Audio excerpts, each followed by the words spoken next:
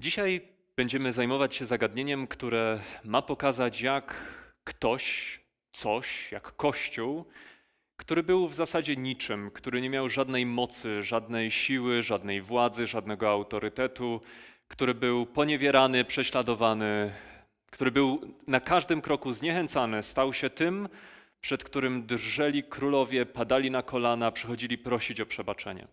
I choć oczywiście nasz temat zawężony jest do zagadnień Kościoła starożytnego i nie będziemy w stanie dotknąć tematów związanych z papiestwem jako takim i tym, jak ostatecznie ukształtowała się struktura papieska, to jednak pierwsze dwa wieki, które będziemy dzisiaj omawiać, one pokażą, jaki obrał Kościół kierunek i myślę, że będzie to na tyle dla nas czytelne, że będziemy mogli zrozumieć, dlaczego to, co widzimy dzisiaj, czy co widzieliśmy szczególnie w średniowieczu, Dlaczego taka sytuacja była tą, którą zastaliśmy w tym czasie? Jak doszło do tego, że gdzieś tam ten czysty kościół, pierwotny kościół mógł stać się w zasadzie potężnym tworem politycznym, mniej religijnym, a przede wszystkim politycznym? Mm, tylko, że jeżeli chodzi o dzisiejszy nasz program, będę chciał na początku zaznaczyć dwie rzeczy. Po pierwsze, żeby nie zarzucić Państwa cytatami ojców Kościoła, postanowiłem wybrać tylko trzy źródła informacji, trzy najstarsze źródła informacji.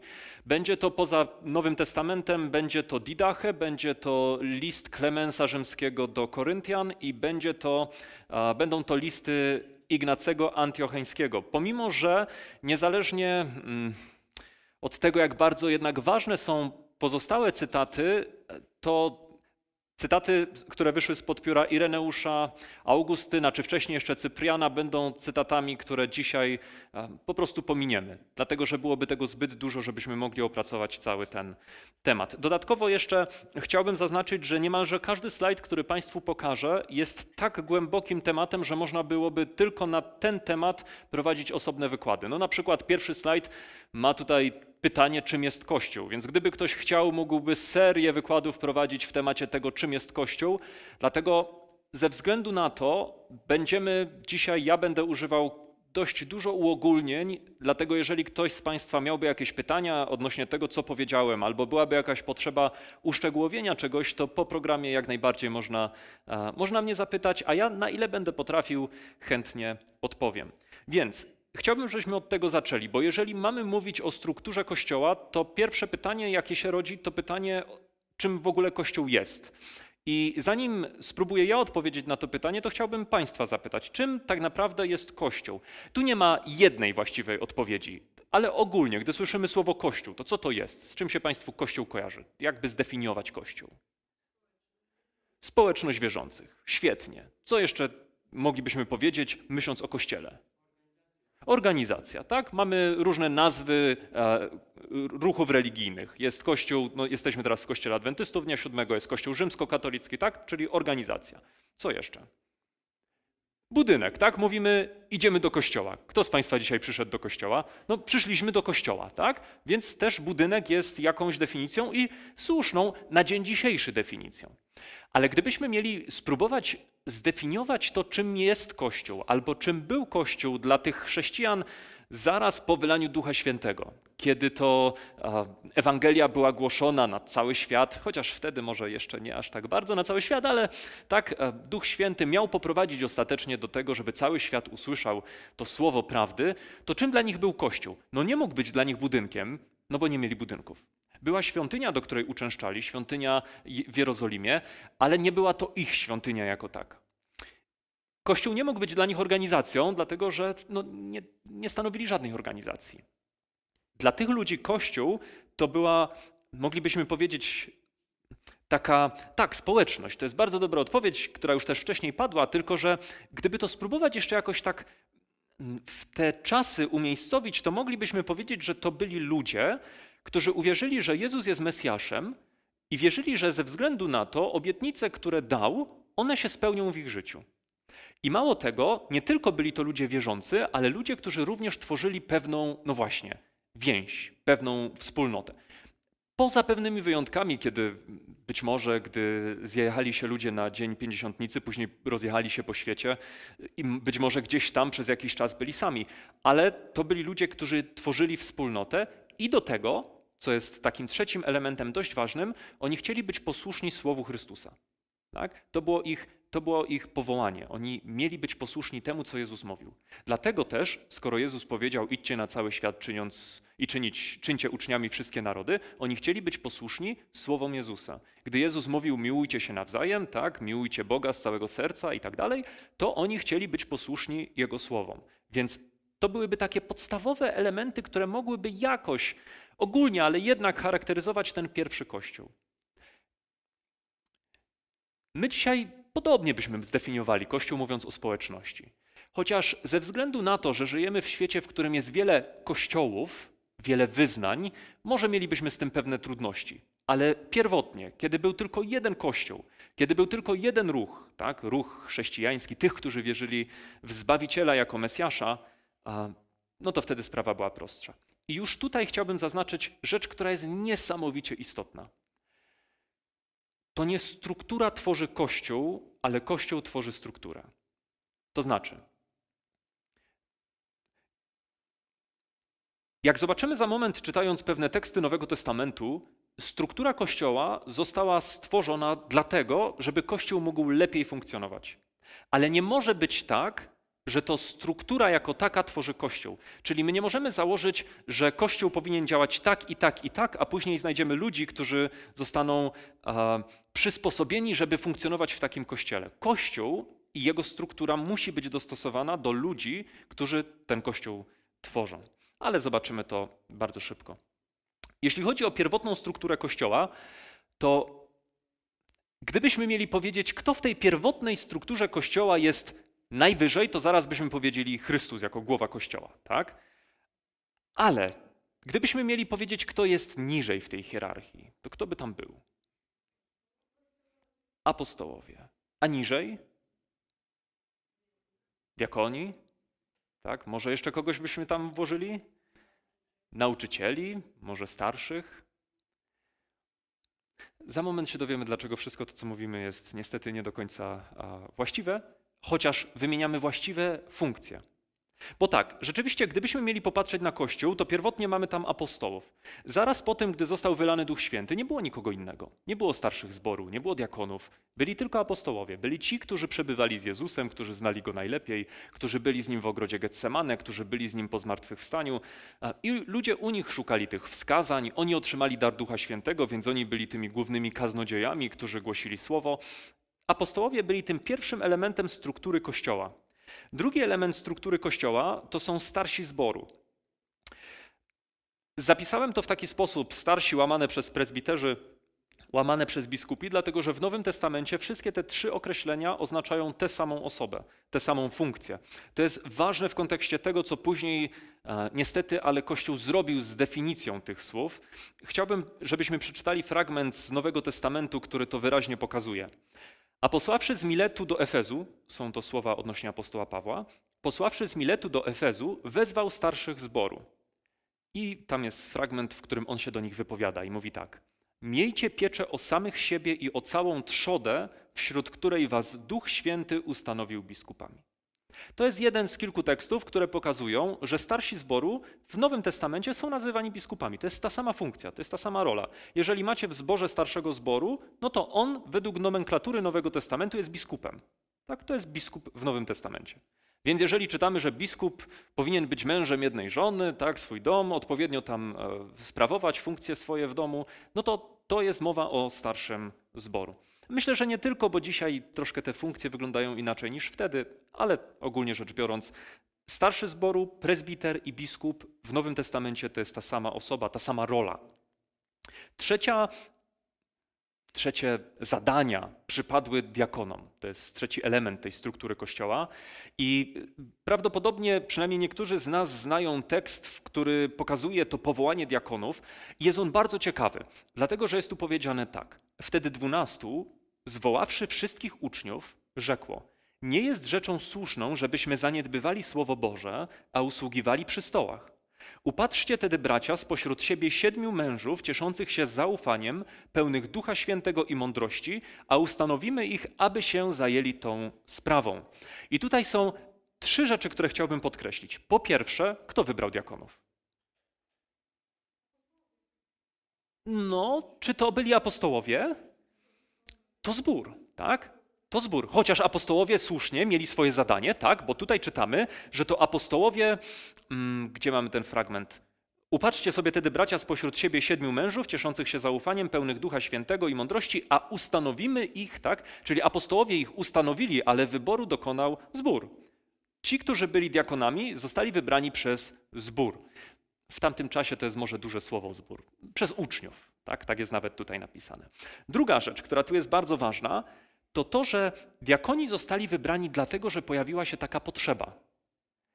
Nie dlatego, że Jezus apostołom pół roku wcześniej powiedział, gdy będziecie zakładać fundamenty kościoła, to wybierzcie diakonów. Nie. Oni zobaczyli potrzebę i w wyniku działania Ducha Świętego, jak wierzę, uznali, że tę potrzebę należy zaspokoić przez powołanie diakonów. I to jest element, który powinien pokazywać nam, że Kościół mógł się zmieniać. Kościół z czasem mógł ulegać zmianom ze względu na to, że mogły zmieniać się potrzeby.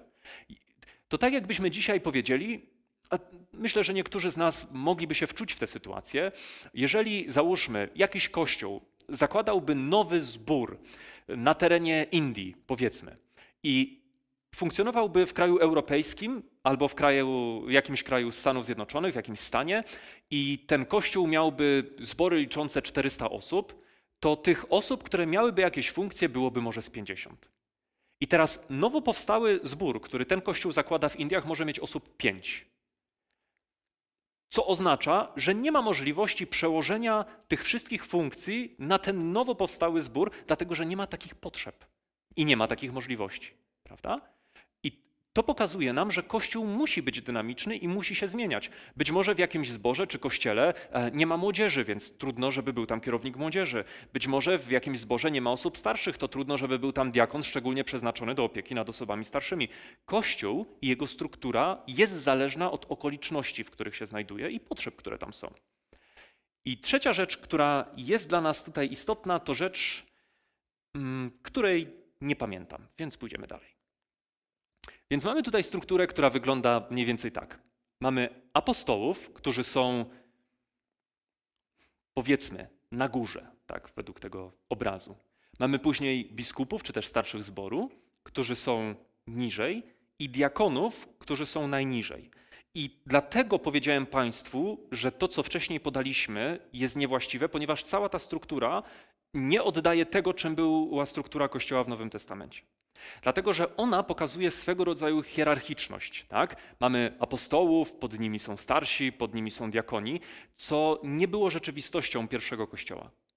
To jest coś, co my widzimy dzisiaj, co widzimy przez okres średniowiecza, co zostało później stworzone, o czym będziemy mówić troszkę później, ale pierwotnie w kościele nie było czegoś takiego jak hierarchiczność. Nie było czegoś takiego, że. Um, apostołowie byli najważniejsi w kościele. Prawda, mogli cieszyć się największym szacunkiem, największym autorytetem, ale oni nie byli ważniejsi od starszych zboru, nie byli ważniejsi od diakonów. Więc gdybyśmy mieli przedstawić to jakoś obrazowo, to musielibyśmy przedstawić te wszystkie funkcje na jednej linii. I chociaż każda z tych osób, czy to starszy zboru, czy apostoł, czy diakon, miał inne zadania do wykonania, to byli ludzie sobie równi. Jeżeli był jakiś problem, o czym za moment przeczytamy, do rozstrzygnięcia, no to być może nie zwracano się tak bardzo do diakonów, co do apostołów albo do starszych. Być może natomiast, gdy była sprawa związana z usługiwaniem przy stołach, nie trzeba było zwracać się do apostołów, o czym oni powiedzieli, że nie jest dobrze, żebyśmy zajmowali się tym, niech to robią diakoni. Tak? Były różne zadania, ale one wszystkie wykonywane były przez ludzi, którzy byli sobie równi. Nie było hierarchii. I to jest już pytanie, które od razu pojawia się w myśli człowieka, gdy analizuje dzisiejsze kościoły, czy w państwa kościele, czy w moim kościele, czy istnieje hierarchia. Czy istnieje hierarchia, która sugerowałaby, że jest ktoś ważniejszy od drugiej osoby? Czy jeżeli e, duchowny jest ordynowany albo otrzymuje jakieś stanowisko, czy nazywa się to awansem, tak? czy wiąże się to z dodatkowym wynagrodzeniem i tak dalej, i tak dalej. Pytanie o hierarchię jest bardzo istotne. Tutaj, w pierwotnym kościele, my nie mamy hierarchii. My mamy tylko różne zadania i różne funkcje. I jednym z takich piękniejszych fragmentów, który oddaje to w sposób taki wyraźny, jest fragment, który wspominaliśmy na poprzednim wykładzie dotyczący problemu obrzezania. Tekst z dziejów apostolskich brzmi tak. Dlatego sądzę, że nie należy czynić trudności tym spośród pogan, którzy nawracają się do Boga, ale polecić im, żeby się wstrzymywali od rzeczy splugawionych przez bałwany, od nierządu, od tego, co zadławione i od krwi. Mojżesz bowiem od dawien dawna ma po miastach takich, którzy go opowiadają, gdyż czyta się go w synagogach i w każdy sabat. Wówczas postanowili apostołowie i starsi razem z całym zborem posłać do Antiochii wraz z Pawłem i Barnabą wybranych spośród siebie mężów Judę, zwanego Barsabaszem i Sylasa, którzy byli przodujący wśród braci, dając im do ręki następujące pismo. I to jest to, co jest przepiękne w tym zwrocie. Jakie oni dali im pismo? Apostołowie i starsi, bracia braciom, pochodzącym z pogan w Antiochii i w Syrii i w Cilicji, w Cilicji, przesyłają pozdrowienie. Mamy coś, co nazywamy Soborem w Jerozolimie. Oni podejmują decyzję i teraz wysyłają pismo i mówią: My, apostołowie i starsi, wysyłamy pismo, ale jako bracia braciom. Tu nie ma perspektywy My tutaj w Jerozolimie, w największym kościele Bożym, tu gdzie rozpoczęło się całe zwiastowanie, gdzie chodził Chrystus, tu gdzie był wylany Duch Święty, my wam mówimy, że musicie postąpić tak czy tak. Tu jest zupełnie inny duch. Informacja jest prosta. Bracia braciom. My jako bracia mamy wam coś do powiedzenia, jako braciom. To jest piękny obraz tego, czym był Kościół. Nie hierarchiczną strukturą, ale strukturą ludzi, którzy mają swoje zadania, a jednak są sobie równi. Inny fragment Nowego Testamentu, i to chyba będzie ostatni, który dzisiaj przywołamy, to jest fragment z Ewangelii Mateusza z rozdziału 20, gdzie Jezus wypowiada się odnośnie tych, którzy pełnią jakąś przywódczą funkcję. Ale Jezus, przywoławszy ich, apostołów, rzekł: Wiecie, iż książęta narodów nadużywają swojej władzy nad nimi, a ich możni rządzą nimi samowolnie. Nie tak ma być między wami, ale ktokolwiek by chciał między wami być wielki, niech będzie sługą waszym. I to jest tekst, który chrześcijanie dość dobrze znają, ale on w niezwykły sposób odnosi się do struktury Kościoła, bo on pokazuje, że jeżeli jest ktokolwiek, kto ma pełnić jakąkolwiek funkcję przywódczą, kto miałby być pierwszy między braćmi, to musi to być osoba, która jest pierwszy w służbie, która jest pierwsza w służbie, która wyróżnia się tym, że traktuje innych i dobro innych jako więcej warte niż swoje. Dlatego, że w Nowym Testamencie słowo sługa oznacza po prostu niewolnika, a niewolnik, nie chcę tutaj robić zbyt wielu odniesień, ale niewolnik z założenia musiał patrzeć na dobro swojego Pana jako na dobro ważniejsze niż swoje własne. I w tym kontekście Jezus mówi: Wy macie być sługami tych innych ludzi, którzy są dookoła was. I to pokazuje, że jeżeli ktoś miał być apostołem, czy starszym, czy diakonem, czy miał mieć jakąkolwiek funkcję, którą byśmy dzisiaj nazwali przywódczą, on musiał, musiał. On powinien był wszystkich traktować jako wyższych od siebie i on powinien im służyć. Oczywiście mogło to być różnie odbierane, ale z założenia do tego się to sprowadzało, że on był sługą wszystkich. I taki był początek czytając te sprawozdania o pierwszym kościele, można było powiedzieć, no, no lepiej być nie może. No i rzeczywiście już lepiej nie było. Niestety, od tego momentu już jest tylko gorzej. Nie chcę powiedzieć, że od razu jest tylko gorzej, ale jest gorzej i gorzej. Już w Nowym Testamencie, w niektórych listach, które wspomnę e, prawdopodobnie w dalszym ciągu naszego wykładu, znajdujemy informacje o tym, że ludzie zaczęli inaczej patrzeć na, na Kościół. Może jest tak dlatego, ponieważ my jako ludzie przywykliśmy do pewnej hierarchii. Może jest tak dlatego, że ci, którzy mieszkali w Cesarstwie Rzymskim, czy byli Żydami, czy byli Rzymianami, czy byli kimkolwiek, byli przyzwyczajeni do tego, że zawsze mają Pana, zawsze mają kogoś, kogo trzeba słuchać i łatwiej jest z założenia słuchać niż myśleć. Być może ludzie oczekiwali od Kościoła pewnej hierarchiczności ze względu na to, że tak wydaje się być często łatwiej. Ale no, skutkowało to niestety, jak zaraz zobaczymy, bardzo przykrymi sytuacjami. Chciałbym, żebyśmy sięgnęli do trzech najwcześniejszych pism, które mogą nam coś powiedzieć na ten temat. Teraz, jeżeli chodzi o Didachę, to jest pismo, które różnie jest datowane. Nie będę się tutaj na ten temat rozwodził jakoś bardzo.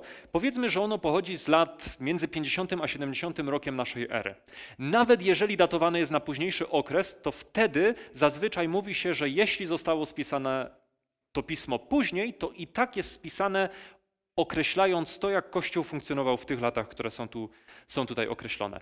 I teraz to oznacza, że to pismo opisuje sytuację, kiedy żyją apostołowie, przynajmniej niektórzy. I znajdujemy tu kilka informacji, które nam się będą nawet podobać. Czytamy tutaj tak. Sprawozdanie z tego, co działo się w kościele. Rada. Wybierzcie zatem sobie biskupów i diakonów, godnych Pana, ludzi cichych, spokojnych, bezinteresownych, wiarygodnych i wypróbowanych. Oni bowiem pełnią u was także posługę proroków i nauczycieli, nie garćcie więc nimi, gdyż należy im się wśród was to samo poważanie, co prorokom i nauczycielom. I teraz pierwsza rzecz. Mamy to, to jest okres apostołów, tak? Więc mamy tu sugestię, to wy wybierzcie sobie. Wy sobie wybierzcie biskupów, wy wybierzcie sobie diakonów, to wy zróbcie jako zbór, jako kościół. Druga rzecz ważna, co jest niezwykle interesujące, bo na końcu tego cytatu jest powiedziane: Należy im się wśród was to samo poważanie, co prorokom i nauczycielom. Co mogłoby sugerować, że pierwotnie, a przynajmniej w tamtym czasie, czy biskupi, czy diakoni nie mieli aż takiego poważania, jak choćby nauczyciele i prorocy.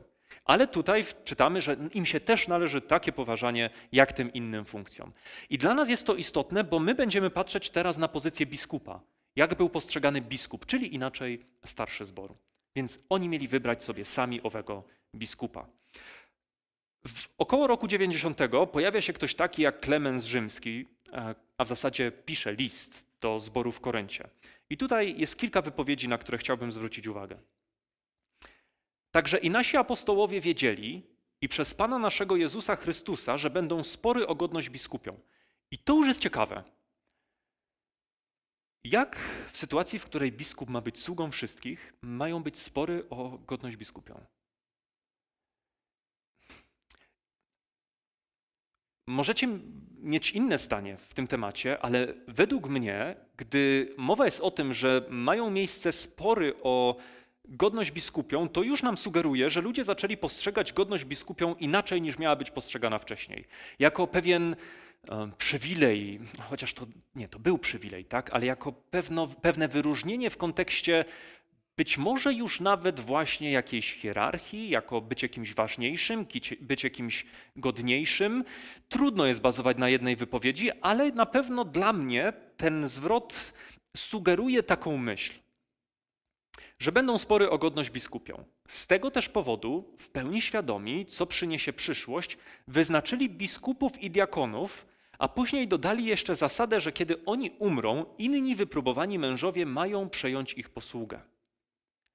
Uważamy zatem, że nie jest rzeczą słuszną odsuwać od tej posługi ludzi, którzy wyznaczeni przez apostołów lub też później przez innych wybitnych mężów za zgodą całego Kościoła służyli trzódce Chrystusowej w sposób nienaganny, z pokorą i spokojem, bez małostkowości, o, który, o którym od dawna wszyscy dają dobre świadectwo.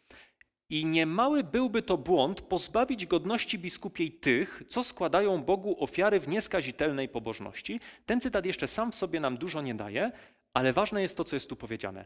Szczęśliwi ci prezbiterzy, którzy zakończyli już swoją drogę. Mamy rok 90 i znowu w tym fragmencie widzimy, że słowo prezbiter, czyli starszy, i biskup występują zamiennie. Rok 90 naszej ery. Końcówka I wieku. Presbiter i biskup to ciągle jest ta sama funkcja. I ostatni cytat Klemensa to wstyd umiłowani. Wielki wstyd i rzecz niegodna życia w Chrystusie słyszeć, że ów niezachwiany i stary kościół w Koryncie przez jedną czy dwie osoby buntuje się przeciwko swym prezbiterom. Czyli pierwsza rzecz. W 90 roku naszej ery na pewno słowo biskup i prezbiter znaczą to samo, ale druga ważna rzecz, jak za moment zobaczymy, to to, że w zborze w Koryncie mamy do czynienia nie z jednym biskupem, ale przynajmniej z dwoma. Tak? Bo czytamy tutaj, że w tym starym, pradawnym kościele w Koryncie buntują się jakieś osoby przeciwko swoim prezbiterom. To jest 90 rok. I dochodzimy do źródeł ostatnich naszych cytatów, czyli do Ignacego Antiochańskiego. I tutaj dwie ważne myśli. Ignacy Antiocheński, datowanie jego pism jest skomplikowane. Ogólnie wydaje się, że sprawa jest prosta, że jest to albo 107, albo 115 rok, ale ze względu na to, jak on wyraźnie przedstawia strukturę Kościoła, pojawia się dużo zarzutów sugerujących, że zostało to spisane później. My jednak, ze względu na potrzebę jakiegoś unormowania tego, spróbujemy przyjąć, że rzeczywiście to pismo zostało napisane tak wcześnie, 107 lub 115 rok naszej ery. I teraz co pisze Ignacy Antiocheński? I myślę, że Państwu już to zapali pewną lampkę w głowach. Godzi się zatem wychwalać na wszelki sposób Jezusa Chrystusa, który dał wam swoją chwałę, abyście zjednoczeni w jednym posłuszeństwie, poddani biskupowi i kapłanom, we wszystkim byli uświęceni. Tak? Więc czytamy tutaj o dwóch rzeczach, które są dla nas istotne. Po pierwsze, czytamy tutaj o tym, że mamy być poddani biskupowi i kapłanom. Mamy już jakieś rozdzielenie. Biskup i kapłani. Jest tylko jeden biskup, już nie ma biskupów, już nie ma prezbiterów, jest jeden biskup i są jacyś kapłani. Nie mieliśmy do tej pory do czynienia z kapłanami. To Cyprian będzie dużo na ten temat mówił, ale o tym już nie będziemy w ogóle wspominać. Mamy kapłanów. A chciałbym, żebyśmy spróbowali jednak na tę chwilę pomyśleć. Kim jest kapłan? Kim był kapłan w Starym Testamencie? Jak byśmy nazwali jego rolę? Co on robił? Tak, on był pośrednikiem, prawda? Ostatecznie, nie w tym momencie, ale ostatecznie idea kapłaństwa zrodzi ideę świątyni, a idea świątyni zrodzi ideę ofiary. Dlaczego to jest istotne? Bo gdybyśmy popatrzyli kilka wieków dalej, zobaczymy, że człowiek zostanie związany z Kościołem, z instytucją, ze strukturą Kościoła tak bardzo mocno, dlatego że jego zbawienie będzie polegać na roli pośrednika, który musi służyć w świątyni, i musi usługiwać ofiarą. Tego nie było na początku w formowaniu kościoła pierwotnego, ale ostatecznie każdy człowiek zostanie związany z tym jednym kościołem przez elementy, których pierwotnie w kościele nie było. Ale na tym nie będziemy się skupiać, bo to jest późniejszy element. Natomiast czytamy tu już o jednym biskupie, któremu mamy być posłuszni. Następny fragment. Jest więc rzeczą jasną, że na biskupa musimy patrzeć jak na samego Pana. Trudno jest nam oczekiwać podobnych wypowiedzi z ust pierwszego kościoła, pierwotnego kościoła, żeby na starszego zboru patrzeć tak jak na Pana, oczywiście w kontekście Chrystusa. Już nam się to nie podoba, ale drodzy Państwo, my jesteśmy na początku drugiego wieku. To nie jest wiek czwarty, to nie jest wiek piąty, to jest początek drugiego wieku. To jest, no trudno powiedzieć, bo mówiłem, że jest kłopot z datowaniem historii i pism Ignacego, ale w najgorszym założeniu możemy powiedzieć, że jest to kilkanaście lat po śmierci apostoła Jana. Na biskupa patrzmy tak jak na samego Pana. W istocie niektórzy, choć stale mają biskupa na ustach, wszystko robią bez niego. Widać, że nie są oni ludźmi czystego sumienia, a zgromadzenia ich ani ważne, ani zgodne z przykazaniem. Więc mamy do czynienia z kolejnym cytatem, w którym wydaje się, że Ignacy odnosi się do tego, że jeżeli ktoś nie zgadza się z przyjętym, e, trudno powiedzieć, porządkiem albo teologią danego zboru czy kościoła i chce robić sobie oddzielne nabożeństwa, jakkolwiek je nazwiemy, to one nie są ważne. Dlaczego? Bo nie ma tam biskupa. Bo nie ma tam biskupa. Jest biskup, tam gdzie jest biskup, tam, tam jest ważne spotkanie. Co robi biskup, to jest ważne. Gdzie nie ma biskupa, no to już nie jest, nie jest ważne spotkanie. Starajcie się wszystko czynić w zgodzie Bożej pod kierunkiem biskupa, który zastępuje wam Boga, kapłanów zastępujących Radę Apostołów i moich najdroższych diakonów mających udział w posłudze Jezusa Chrystusa. No więc struktura jest gotowa, tak? Mamy biskupa, tak jak Chrystusa, mamy kapłanów, tak jak Radę Apostołów, jak apostołów i mamy diakonów. Struktura gotowa, 117, być może 107 rok, trudno, trudno powiedzieć, tak?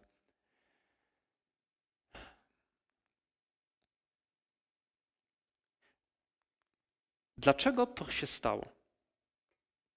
Chciałbym, żebyśmy spróbowali znowu nad tym przez moment pomyśleć. Dlaczego ktoś miałby dążyć do tego rodzaju obrazu Kościoła? Po co? Po co ludziom jest Kościół, w którym jest jeden biskup, który jest zwierzchnikiem wszystkich, którego należy słuchać jak Pana, który rozwiązać potrafiłby wszystkie problemy. Dlaczego w jakimś sensie być może nawet z dobrych intencji, chociaż to trudno będzie nam ocenić, ale dlaczego w pewnym momencie ludzie postanowili odchodzić od perspektywy kilku osób prowadzących zbór, powiedzmy tych starszych biskupów czy diakonów, i przechodzić do systemu, w którym jest jeden biskup? Dlaczego to, co było równością, ostatecznie kończy się na pewnej hierarchii. Co w tym jest lepszego? Dlaczego, dlaczego ten obraz był dla ludzi bardziej pociągający w jakichś okolicznościach? I gdybyśmy czego nie zrobimy, ale gdybyśmy przeczytali listy Ignacego, a to są krótkie listy, jeżeli by Państwo chcieli, to naprawdę myślę, że warto to przeczytać dla samej takiej świadomości, co on pisał, to te listy, one, prawie każdy z nich, być może poza listem do Rzymian, dotyka zagadnienia biskupów i ich roli, ale one w swojej treści przede wszystkim, na ile je rozumiem, mówią o tym, jak ważna jest jedność Kościoła. Jak ważna jest jedność Kościoła. I gdy na poprzednim spotkaniu mówiliśmy o wszystkich tych odstępstwach i herezjach, które miały miejsce, to możemy spróbować sobie wyobrazić taką sytuację. To jest, no, proszę mi wybaczyć, ale to są pewnego rodzaju domysły, a jednak wydaje mi się, że dość prawdopodobne. Mamy zbór, kościół, który jest wewnętrznie podzielony. I teraz, gdy dzieje się podział wewnętrzny w zborze, często jest tak, że jeżeli tym zborem kieruje grupa osób, to ta grupa osób również jest podzielona. Jeżeli mielibyśmy grupę tych starszych zboru czy biskupów w danym zborze, to moglibyśmy skończyć w sytuacji, w której cały zbór się dzieli razem z przywództwem tego zboru, choć to słowo przywództwo, jak już nakreśliłem, nie jest do końca tutaj pasujące. O ile lepiej byłoby mieć jednego człowieka, który w obliczu wszystkich kryzysów, wszystkich problemów mógłby powiedzieć: Nie, słuchajcie, mylicie się, jest tak i tak. Skończmy tę dyskusję, ta dyskusja nie ma sensu, nie powinniśmy tak robić, zróbmy tak. Idea posiadania kogoś, kto ma ostateczny głos, kto podejmuje ostateczną decyzję, jest najprostszą w drodze utrzymania jedności. Gdybyśmy postawili jedność jako priorytet Kościoła, to wszystko to, co tu się dzieje, jest dobrym kierunkiem. Tak by można było założyć. Gdyby jedność była priorytetem Kościoła, czy jedność jest priorytetem Kościoła, albo czy powinna być priorytetem Kościoła, no to już jest inna dyskusja. Ale gdyby to był priorytet, to lepiej jest mieć jednego człowieka, który miałby wystarczająco duży autorytet, by powiedzieć: Słuchajcie, to nie jest prawda, robimy tak. Albo tej działalności się nie podejmujemy, robimy coś innego. Tak? Albo ten człowiek, który do nas przyszedł, głosi fałszywą naukę.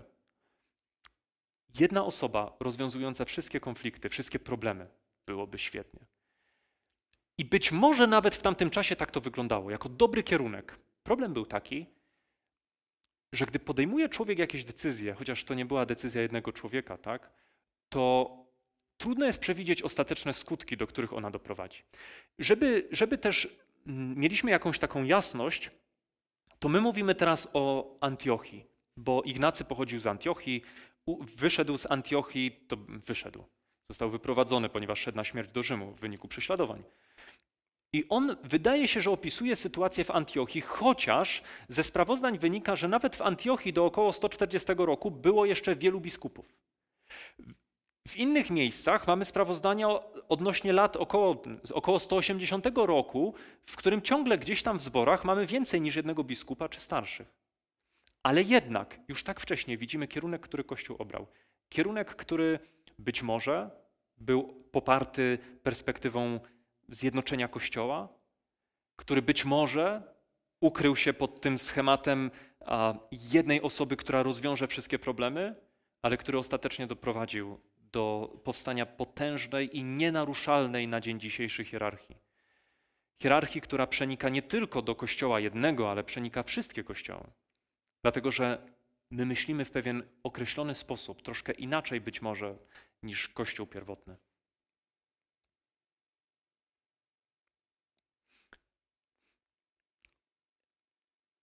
Na ostatnim spotkaniu mówiliśmy troszkę o gnostykach i tutaj chciałbym podkreślić jeden element, który był istotny w kontekście ich sposobu myślenia.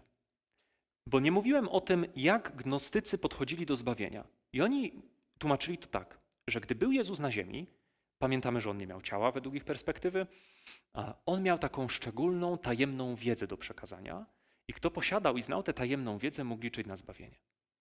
I on, Jezus, przekazał tę tajemną wiedzę właśnie tym, którzy określali się jako gnostyk, gnostycy, tak? uważali się za gnostyków. Więc Gdy mamy do czynienia z konfliktem tego pierwszego wieku związanym mm, z Ewangelią i gnostycyzmem, to perspektywa była taka, i to jest też bardzo ciekawe w kontekście dalszej supremacji, o której będziemy mówić. Oni uważali, gnostycy, że oni mają rację. Dlaczego? Ponieważ posiadają tę wiedzę, która była przekazywana od Jezusa z pokolenia na pokolenie, i oni posiadają te tajne informacje, której nie ma nikt inny. I teraz, gdy dochodzimy do su sukcesji apostolskiej, to sukcesja apostolska jest dokładnie tą samą koncepcją, tylko prezentowaną przez Kościół. Bo jeżeli gnostycy mówili, że my mamy rację i my właściwie postrzegamy świat, dlatego że Jezus tajemną wiedzę przekazał swoim, jakimś tam swoim uczniom, którzy przekazali je swoim uczniom, którzy tę wiedzę przekazali nam, to Kościół uznał, że to nie jest nie chcę tego spłycić za bardzo, ale że to nie jest wcale taka zła idea. I Kościół uznał, że w takim razie można do tego podejść inaczej. Jezus przekazał swoją wiedzę apostołom, apostołowie kolejnemu pokoleniu, ci kolejnemu pokoleniu, i w ten sposób ci, którzy mają tę wiedzę, tę prawdę pochodzącą od Jezusa, czyli Kościół, musi być przedstawicielem Jego w tym sensie, że, mm, że może reprezentować Go jako Jego przedstawiciel na ziemi. I w ten sposób założono fundament, podwaliny pod sukcesję apostolską. Kto ma w takim razie prawo interpretować pismo? Kto będzie tym, kto będzie mógł powiedzieć, jak należy rozumieć słowa, które zawarte są w świętych księgach? No to będą ci, którzy pochodzą od apostołów. I to jest bardzo logiczne. To jest, to jest normalne, to jest nawet mądre. Tylko czy jest ku temu jakiś fundament? Czy jest ku temu jakaś podstawa? Umówmy się. Gdybyśmy mogli mieć kościół, w którym jest jeden przywódca, który ma pełnię władzy, który ma możliwość rozróżnienia, co jest dobre i co jest złe, i moglibyśmy mieć pewność, że on jest wierny Bogu i nigdy od niego nie odstąpi, to to byłoby chyba najlepsze rozwiązanie. Tylko, że to musiałby być wtedy Jezus. I musiałby być między nami, bo ludzie mają tendencję do tego, żeby zmieniać swoje zdania, swoje stanowiska, swój charakter nawet. Więc jeżeli jakiś człowiek miałby być postrzegany jako ten, który pełni taką przywódczą funkcję w kościele, który może definiować, co jest słuszne, co nie jest słuszne, to jest zawodny fundament. Ale, co ważne, Ignacy Antiocheński nic nie mówił o sukcesji apostolskiej. Co oznacza, że ta koncepcja nie pochodzi z początku II wieku naszej ery. Ona pojawiła się później.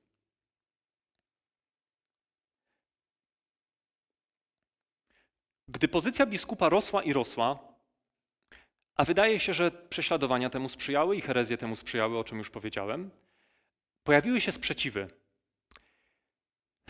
Tylko z tymi sprzeciwami to jest tak, że one często są zbyt daleko idące. I montanizm, o którym też ostatnio wspominałem, był sprzeciwem wo wobec rosnącej pozycji biskupa.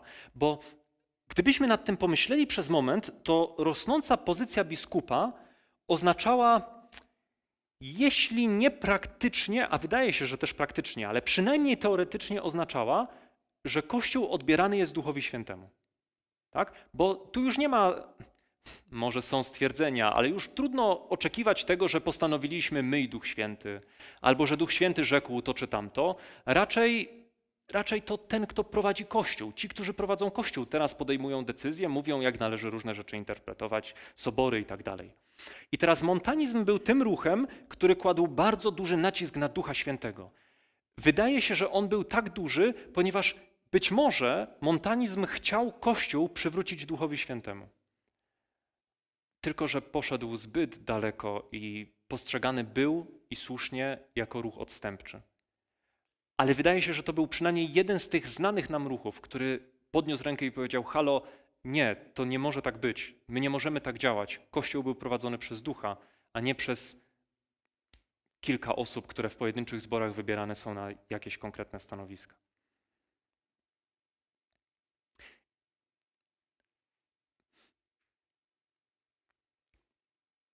Ostatnia rzecz, na którą chciałbym, żebyśmy zwrócili uwagę, to jest kwestia tego, że do, doszliśmy na podstawie cytatów Ignacego do miejsca, w którym on uważał, że w każdym zborze powinien być biskup. Ale to jeszcze nie wystarczyło. Dlatego, że nawet między biskupami różnych zborów mogły mieć miejsce konflikty i miały. Miały. Często zbory w Antiochii nie mogły się porozumieć ze zborem w Rzymie czy z kościołem, a już dopiero potem kościół w Konstantynopolu też miał dużo różnych kontrowersji w kontekście innych kościołów.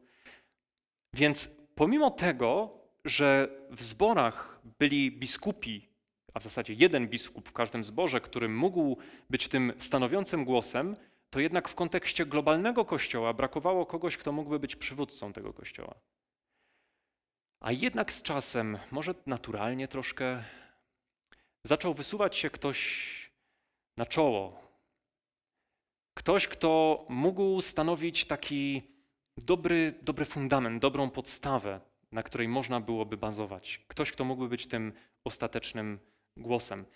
Dotyczyło to oczywiście różnych kościołów. Takimi ważnymi biskupami byli biskupi Antiochii, biskup Efezu był istotną, istotnym biskupem, biskup Rzymu, biskup Konstantynopola, ale z nich wszystkich ze względu i na polityczne i, i biblijne sprawy jeden wysuwał się naprzód i był to biskup Rzymu. I chciałbym przedstawić kilka powodów, dla których mogło tak się dziać. Po pierwsze, Piotr i Paweł zginęli w Rzymie. Czyli ostatnie miejsce, w którym oni byli, to był Rzym. Druga rzecz, która jest ważna, to to, że najbardziej prześladowany kościół w I wieku to był kościół właśnie w Rzymie. Oni musieli opuścić Rzym około 50 roku. Oni byli prześladowani za czasów Nerona, więc to był najbardziej prześladowany kościół w I wieku naszej ery. Do rzymskiego kościoła skierowany został jeden z najdłuższych i ja nie wiem, czy bym się pod tym podpisał, ale możliwe, że najważniejszy list do kościoła w Rzymie. Do setnego roku był to jeden z najbogatszych kościołów. Był ortodoksyjny i zwalczał herezję, czyli taki, wiecie, taki prawowierny. Tak? To był, na niego można było patrzeć jak na wzór. To z niego Klemens wysłał list do Koryntian. Ten list do Koryntian miał pomóc w rozwiązaniu problemów, które tam miały miejsce w zborze i Klemens był, pochodził z Rzymu. W każdym razie był, tak, stamtąd pisał. I Ireneusz i Cyprian podkreślali w swoich pismach zwierzchnictwo biskupa Rzymu.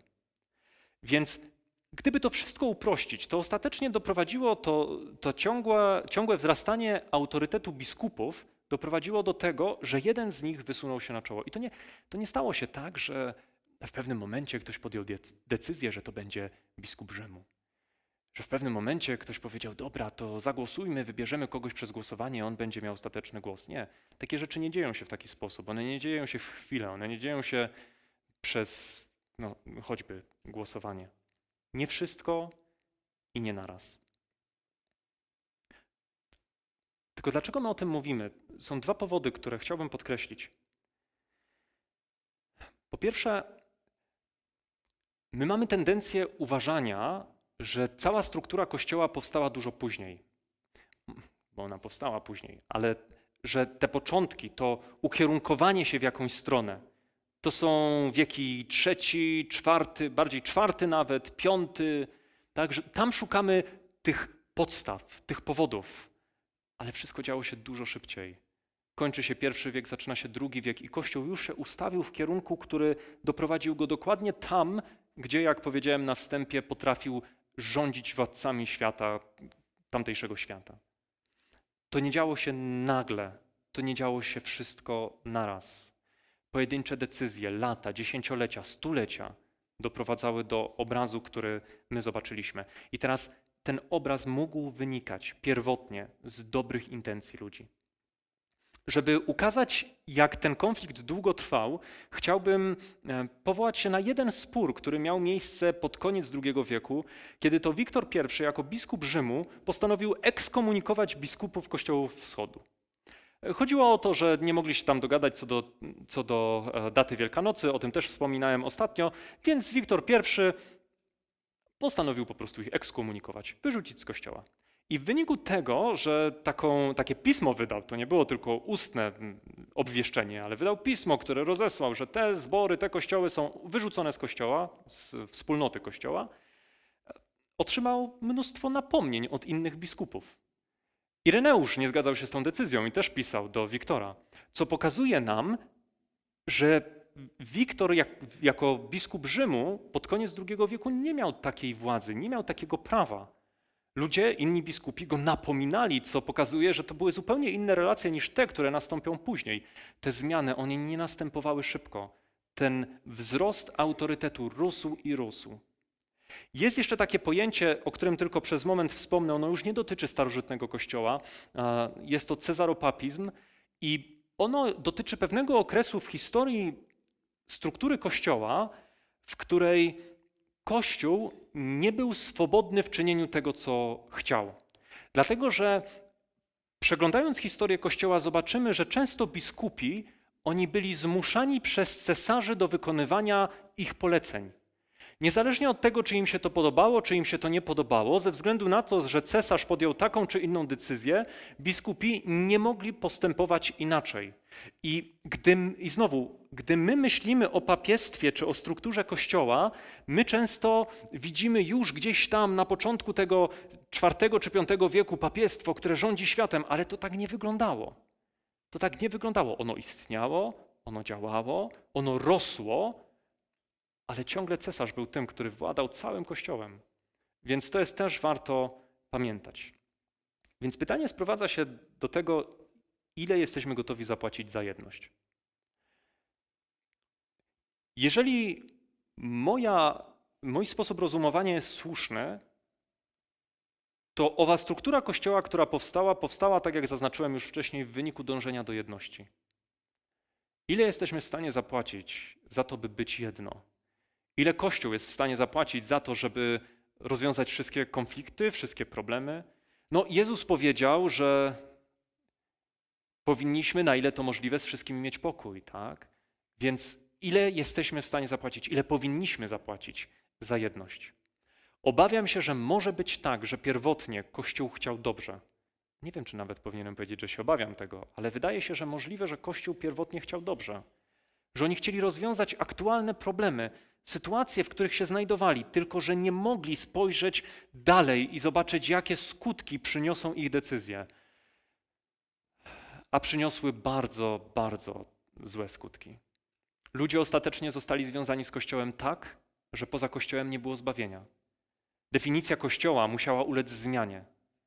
Biskupi przestali być starszymi zboru, przestali być współpracownikami innych, ale stali się panami swoich wspólnot. Stali się kapłanami, stali się tymi, którzy są pośrednikami. Kościoły, które były tylko miejscami zebrań, często nawet nie było budynków, stały się świątyniami, a zbawienie mogło mieć miejsce tylko w świątyni.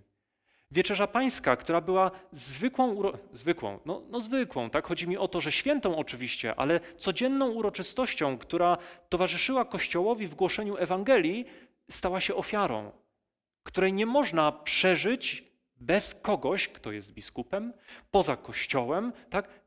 Ludzie zostali związani tak bardzo z tą strukturą, że utracili jakąkolwiek swobodę. Jeżeli mieliby badać święte pisma, to i tak ostateczny głos będzie miał biskup. Jeżeli mieliby myśleć o losie swojego kościoła, to i tak ostateczny głos będzie miał biskup.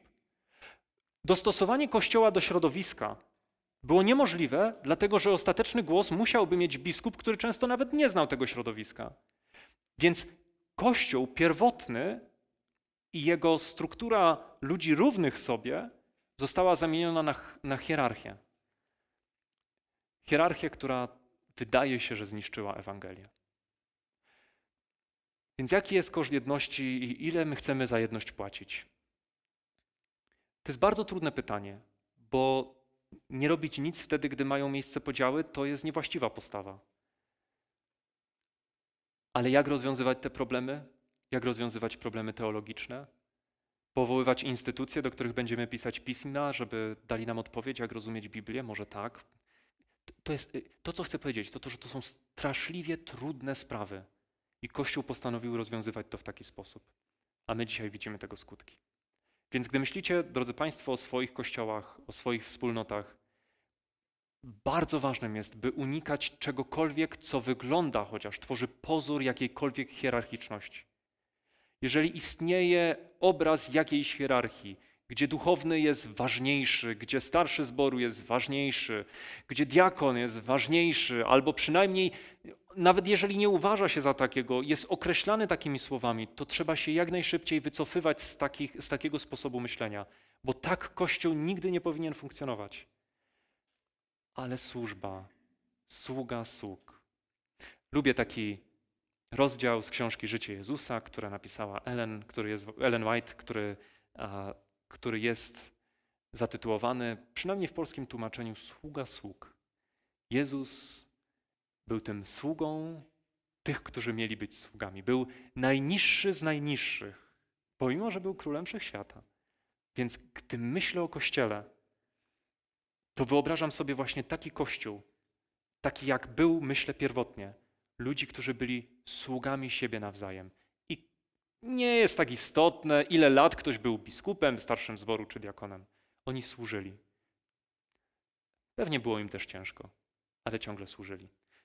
Więc patrząc w ten rozwój struktury, Kościół na samym początku, tam drugiego wieku, być może na koniec pierwszego wieku, zaczął obierać kierunek, który doprowadził go do miejsca, w którym ludzie zostali, nie chciałbym może powiedzieć za dużo w tym momencie, ale zostali związani stracili swoją wolność i swobodę i musieli iść w tym jarzmie tak daleko, jak daleko prowadzili ich, ich nauczyciele.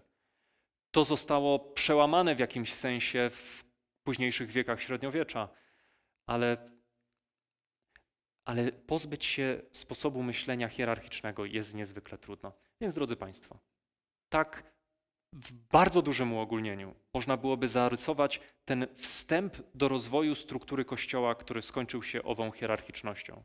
A nawet biskupa nazywano biskupem monarchicznym, co też jest tutaj bardzo mm, ciekawym określeniem.